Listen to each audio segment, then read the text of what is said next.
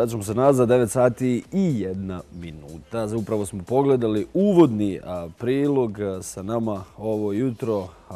Bosansko-Hercegovačka zvijezda, jedan od najtalentovanijih boraca u UFC-u na cijelom svijetu u tom segmentu kada gledamo.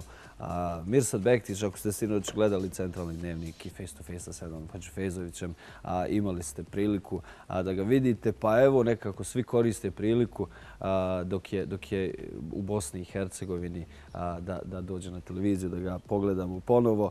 Mirsad je dobro jutro, dobrodošao. Hvala. Kako si? Hvala Bog, dobro sam. Ne može biti, ne mogu biti boje.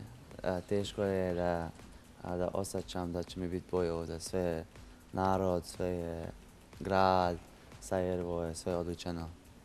Baš mi je super sve. reci mi, dobro, sinoć svakako bio u, centralnom, centralnom dnevniku, odnosno face to mm. face sa Senadom. kako, je, kako je bilo sinoć? I bio si u My Face. Ja, ja, ba bilo je onaj trening, ja. Aha. Bilo je trening, jako mi ovaj trene. Kako mi je drago što Bosna ima taki, tako tartanu ovdje i takve trenere ovdje. I to je nešto mi super, zato mogu sad ovo više dodolaziti i znam da ću imati takve trenere oko mene, da će me gurati i pomoći i biti tako pametno kao što su ovi. Da. Gdje smo bili jučer i sve je ovdje dobro, face je super, ljudi su super, svako se sinoć sjedim i nekako gledam i svako se nešto osjeća da su sretni i to je baš mi drago, svako uživa u momentu. I to je... za gledalce koji su možda stariji ne prate toliko sport, pogotovo UFC, mhm. da, im objasnimo u suštini, to je vrh u, u borilačkim sportovima u smislu mix martial arts, dakle kombinovane vještine. Ti si tamo, definitivno Imamo mi još naravno tu nekih boraca koji se polako penju, ali ti si definitivno zvijezda, mnogo poznat u ostatku u cijelom svijetu. Jeste li pričali o Brazilcu sinoć? Sad sam te pitao kako se, izgovara njegovo ime. Gofredo Pepe. Tako je, vratio si se nakon deset mjeseci od, kako je bilo porazi sve te neke situacije, tamo gdje si stao u svoj najimpresivniji nastup do sada. Um, ušao si strpljivo u meč, a onda sredinom prve runde završio sa brutalnim udarcem da, da. u tijelu. Stomak, Kako je bilo? Ma bilo super, bio sam, bio sam u momentu taj, ja sam, nisam ništa bio strašan, isto da sam, ustao sam od kreveta, bio spavao i mm -hmm. radio posao i to je to. a, svako me, bio pitao kak, kak sam se bio osjećao. A bilo mi tačno normalno prije borbe i bilo mi isto preko borbe kad se završila. Samo sam bio sretan što mi je familija i ovi sve bosanci su bili došli tamo da me gledaju. Zastave su bile tu, ono, bilo mi, bilo mi baš lijepo što su mogli, što su oni mogli živjeti u to vreme sa mnom. Mogu su experience mm od tu borbu, od tu moment sa mnom i, i to će biti uvijek jedna velika memory za mene. UFC je nešto najbrutalnije realno što možemo gledati. mnogi borci, dakle ne mnogi, ali ih ima i koji su zaista i takvi, brutalni su, nemaju baš fair play i tako dalje. Kada dođe do tog posljednjeg udarca, oni ne prežu da, čak povjer u, tom, u toj situaciji, znalo se desiti da neko čak i pogine, da, da, ne preživi te situacije. ti si imao moment gdje si stao. Da. To, to se ne viđa e, često u UFC-u, zapravo rijetko se viđa. Da. da, jednostavno ne želiš dati taj posljednji definitivno kobni, kobni udarac, iako te sudija jel, nije. Kako je došlo do toga? Pa ja, ja sam ga, ono, prvo sam, kad je prva borba počela, trener mi je uvijek bio govorio samo gledaj ga, prvo samo ga gledaj. Zato on bio opasan, samo jako baca i neke lude stvari radi, ne znaš ništa šta će mhm. raditi pa on samo leto čuvaj se na oči i mm pustate oči vozu.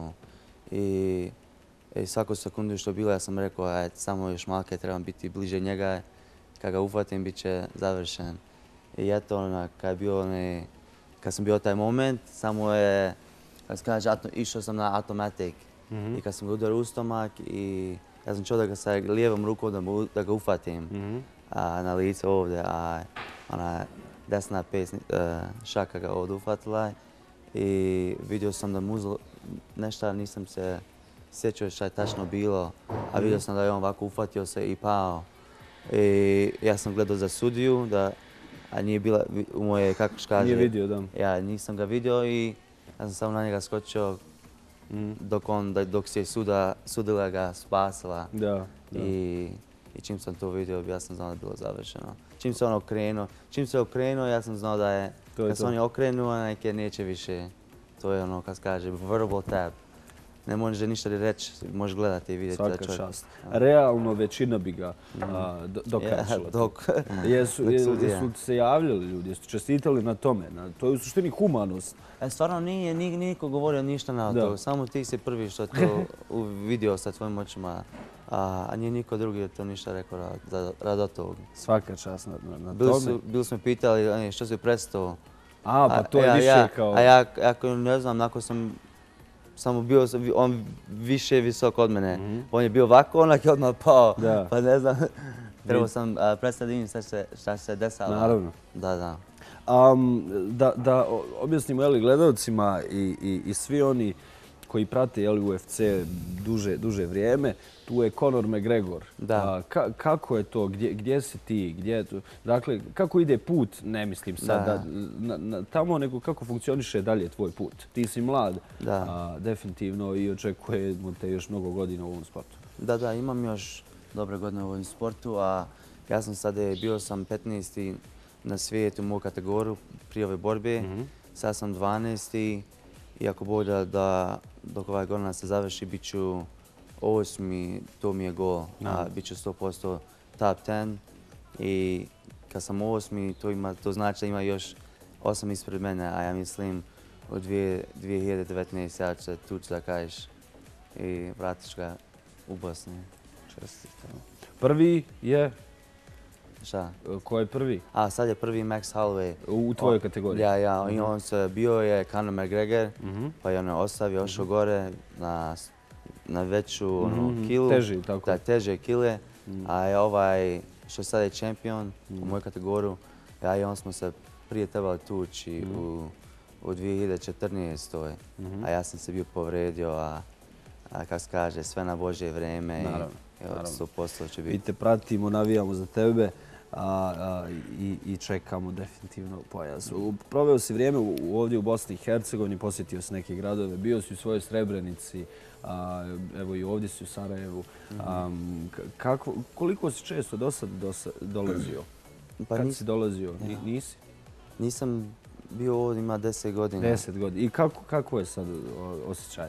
Ah, kako se kaže, ono, normalno, isto da nisam ono, nikad ninja išao, ono, ja, ja sad je, dok više vrijeme ovo sam, ja se osjećam boje i boje i osjećam kako imam ja više, mislim da ovo je tačan reč, nisam 100% njega, a sad kad se a, pozdravim sa mojim ljudima, Mhm, imam, puno stvari nalični ko što oni mhm. i ja se sad osjećam gdje ovu, gdje ovaj snag, gdje ovaj mantel, kako se kaže, mentalni, onaj, dobivam, Mhm. vidimo, znam sad je, znam zašto sam ovaki. Mentalnu snagu, Ja, ja, i vidim kako moji ljudi, šta su, šta su proživjeli, i šta, šta su ljudi u, Sarajevo, šta su oni proživjeli u 92. kad je rat počeo i, i, i kako smo trebali biti jaki i ja mislim to sve, to je sve došlo meni, a, ne znam kako ono, da je kažem, a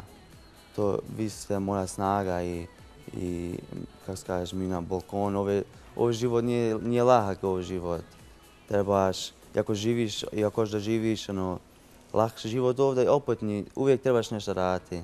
Trebaš ustati, kao što moj otac, trebaš, ako hoćeš da bineš, ako vrućinu u kući, trebaš nalažiti vrat, ako hoćeš a, jelo, trebaš ovice, sve, sve uvijek trebaš nešto raditi. To mi je, a, to mi se najbolje osjećam, ono, kako moji ljudi su proživjeli i Tako. kako nam lijepo ovdje, sve je, nije ništa, mi nemamo ništa što nemamo ovdje. Ja mislim ljudi to nisu shvatili, a uvijek gledaju nešto Da, da nešto nedostaje. Ja, ja, stvarno je, ja sam bio svuđem svijetu i ovdje je pff, baš, baš najlepše, najbolje meni. 26-godišnji Mirsad Bektić iz Srebrenice, svjetska zvijezda a, UFC-a, došao nam je jutros u jutarnji program Uzbuđenje. A, ti si čak trebao danas da ideš nazad, je li Ja tako? trebao sam danas ići unazad, ja sam produžio. produžio. Hvala ti puno što si izdvojio vrijeme i došao jutro, sustao ovako i porazgovarao naravno i upoznao naše gledalce sa svojim, sa svojim radom. Želimo ti puno sreće, pratimo te, definitivno pričat ćemo o tebi kroz emisije, ali pratiti sve tvoje borbe. Želimo ti da, da, da nastaviš kako si krenuo i da donesemo pojas. Hvala ti, veliki hvala tebi i veliki hvala našim bosancima. Hvala što